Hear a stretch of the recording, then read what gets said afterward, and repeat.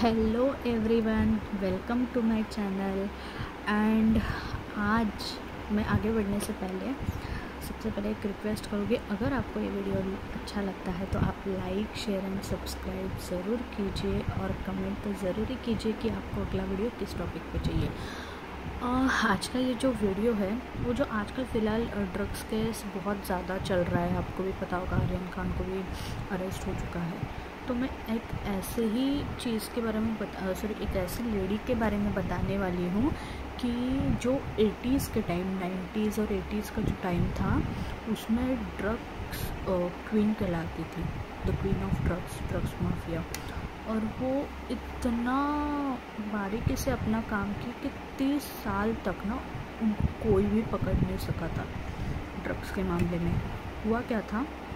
उनका नाम था बेबी पाटनकर तो पहले तो बेबी पाटनकर जो थी वो सिद्धार्थ नगर के एक इलाके में मतलब जो एरिया है सिद्धार्थ नगर का वहाँ पे रहती थी। फिर उनकी शादी हो गई। शादी के बाद उनका ऐसा सुनने में उनका सर, जो रियल नेम है ना वो है शशिकला पाटनकर। उनका जो मायके का नाम था वो है शशिकला माजगावकर। शादी के बाद वाला जो नाम था उनका वो नाम था शशिकला रमेश पाटनकर तो शादी के बाद ना उनको बच्चा बच्चे वगैरह हुए कुछ दो बच्चे हुए। उनके बाद कुछ सोर्सेज के द्वारा ये बताया जाता है कि उनके हस्बैंड की डेथ डेथ हुई है और कुछ सोर्सेज के द्वारा ये बताया जाता है कि उनके हस्बैंड हैवी ड्रंकर थे जो शराबी होते शराबी थे तो इसलिए वो उन्होंने घर छोड़ दिया था। सो so, उनके हस्बैंड का हमारे खून से तो कोई लेना देना नहीं मैं तो जस्ट इन्फॉर्मेशन शेयर कर रही हूँ। तो ये जो बेबी पाटनकर थी जब वो हस्बैंड से अपने अलग हुई तो वो सिद्धार्थ नगर में ही खुद का घर लेके, पहले उन्होंने एज अ मिल्क वेंडर अपना करियर शुरू किया।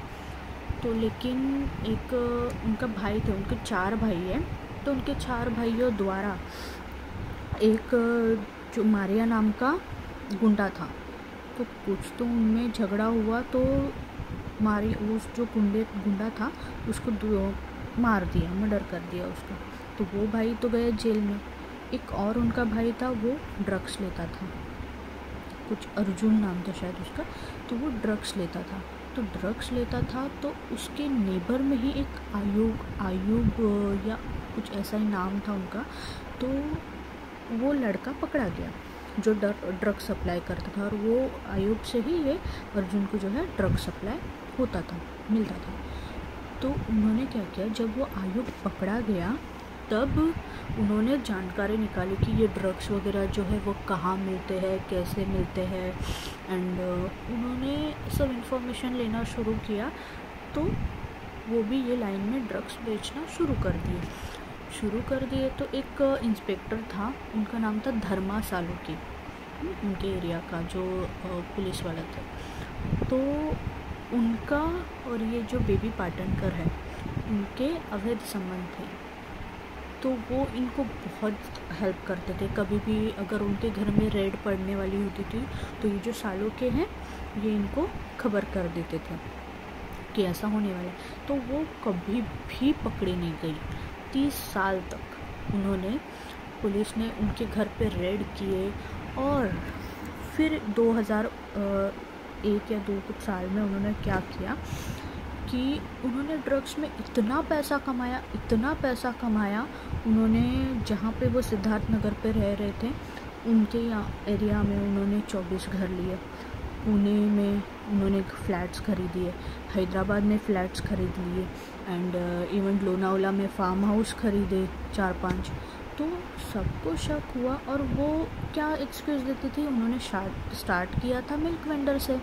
तो रियल इस्टेट उन्होंने थोड़े टाइम बाद रियल इस्टेट का शुरू कर दिया था। तो सबको क्या बताते थे कि मैं तो रियल इस्टेट का कर रही हूँ और वहीं से मुझे इतना सब पैसा आ रहा है। तो अभी पुलिस को डाउट होता था, पुलिस रेड करते थे, लेकिन अभी उनको कुछ मिलता नहीं था। तो 2015 में क्या हुआ ना कुछ उनका उनका सब अभी ये हो गया तो सोर्सेस ये बता रहे हैं कि 2015 में जब उनका ये हो गया, अभी उन्होंने सोच लिया कि हाँ चलो अभी ड्रग्स बंद कर देते हैं, बेचना एंड ऑल तो फिर उन्होंने वो सालोके को बताया। ऑब्वियसली वो जो सालोके थे, वो तो मिले हुए ही थे, क्योंकि उनको भी पैसा कमाना था। तो वो सालोके बोला कि नहीं, अगर तुम ये सब छोड़ोगी मुझे तो ये सब करना है। जो पैसे आ रहे थे, पैसे का लालच किसी को भी चढ़ जाता है तो उन्होंने कहा कि नहीं भाई, मैं तो नहीं ड्रग्स का छोड़ूँगा, तुमको तो हेल्प करनी पड़ेगी, वरना मैं तुम्हारी बदनामी कर दूँगा, फलान। ढिमका ना ऐसा कुछ उनका झगड़ा हुआ, ऐसा तो सोर्सेस बता रहे लेकिन वो जो भी हो। उन्होंने खुन्नस में ये जो सालोखे थे, सालोखे के सतारा वाला जो घर था, गाँव का जो भी, सतारा वाला घर था, वहाँ पे 125 टन जो है वो ड्रग्स रखवा दिए। और पुलिस का खबरी बन के पुलिस को बता दिया कि ये ड्रग ये जो है सालोखे ड्रग्स का करता है। और जो ज, जिस पुलिस स्टेशन में सलोखा का वो था ड्यूटी करते थे उनके लॉकर में भी कुछ ड्रग्स रखवा दिए। तो रेड पड़ी सलोखे के घर में ड्रग्स मिले लॉकर में ड्रग्स मिले। और ये जो उन्होंने काम किया था, वो चार पाँच पाँच पुलिस वालों को लेके साथ में काम किया था। तो ऑब्वियसली सलोखे तो छुप बैठेंगे नहीं, सलोखे ने सब बता दिया। तो पहले तो क्या हुआ, उस सलोखे का जो बयान था, उस पर ये जो है अपनी बेबी पाटन को, उनको अरेस्ट कर लिया। अरेस्ट कर करना, करने के लिए वारंट निकला। तो ये छुप के बैठ गई। छुप के बैठ गई तो बहुत दिनों तक वो लापता थी। मार्च में उनको अरेस्ट वारंट निकला तो दो महीने तो वो लापता थी।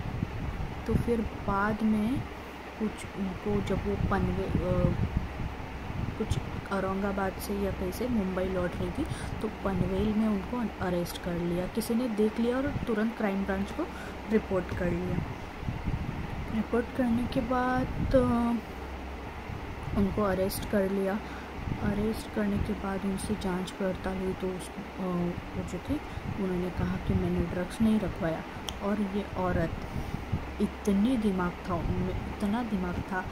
जब वो ड्रग्स था, वो टेस्टिंग के लिए भेजा उन्होंने, जब एक दो महीने के बाद इनको अरेस्ट करने के बाद ही रिपोर्ट आई तो वो जो रिपोर्ट आई तो उसमें क्या निकला कि ये अजीनोमोटो है, ये ड्रग्स नहीं है। ड्रग्स नहीं है ये। तो फिर क्या किया? पुलिस ने फिर हैदराबाद का जो था फोरेंसिक, वहाँ पे भेजा। फिर वहाँ से रिपोर्ट आया कि ये अजीनो भट्टो है। उनको छोड़ना पड़ा। लेकिन कलोखे के बयान पे कल, कालोखे तो अरेस्ट हो ही गए, क्योंकि कालोखे ने सब कन्फेंस कर लिया और उनके बयान पे ये मैडम को अरेस्ट हो गया। अरेस्ट हो गया। तो उनका बेल भी हो गया था शायद, और उनका बेल कुछ जुलाई में या कुछ हो गया। उनका बेल हो गया तो उन्होंने एक वीडियो में इंटरव्यू दिया। आई बी एन लोग आई बी एन में शायद उन्होंने इंटरव्यू दिया अपना first ever interview and last ever interview उनका। तो उन्होंने डायरेक्टली क्या कहा पता है? कि ये, अगर मैं ड्रग्स बेचती तो मैं तीस साल से पकड़ी क्यों नहीं गई? ऑब्वियसली पुलिस वालों का जिसको सपोर्ट होता है, कैसे पकड़े जाते हैं, नहीं पकड़े जाते ना? और सेकंड थिंग उन्होंने कहा, ये सब जो है ना ड्रग्स का मामला, ये कलोखे के घर वालों ने किया है, क्योंकि करो कलोखे और मेरे नजायज़ संबंध थे। और ये उन्होंने क्लियरली उस वीडियो में बोला है ऐसा। तो अब वो तो छूट गए, बेचारे कालों के फंस गए, क्योंकि शुरुआत इन्होंने ही की थी। लेकिन ये तो उनकी किस्मत पता नहीं क्या है। फंस गए लेकिन चार्ज लग गया। कोर्ट में जो चार्ज लगना था, लग गया। अभी तो उनके दो भाई तो अभी भी शायद छूट गए अभी वो, और ये भी छूट गई जेल से। अभी पता नहीं कहाँ है, क्या कर रहे कुछ आइडिया नहीं है किसी को।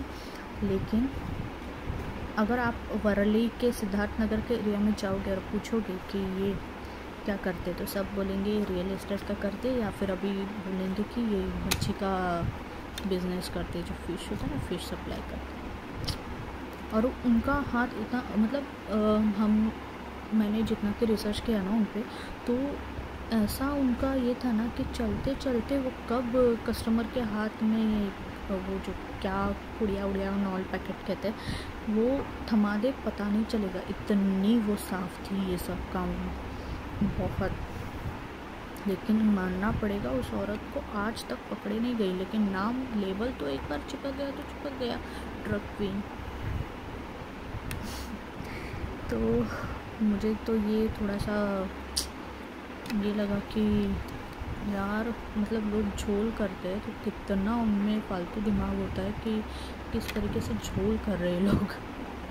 किसी में और और मतलब ऐसे कॉमन मैन या फिर इवन अमीरों में भी इतनी हिम्मत नहीं होती कि बिंदास करके झोल करे और आके उनको कन्फ्रंट भी करे झूठ से।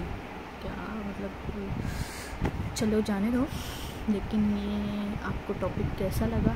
आप मुझे कमेंट में ज़रूर बताइए। और सेकंड थिंग करना ना भूलिए और आप कमेंट में बताइए कि मैं अगले किस टॉपिक पे वीडियो बनाऊँ। वैसे तो अभी मैं नए नए टॉपिक्स लेके ही आने वाली हूँ।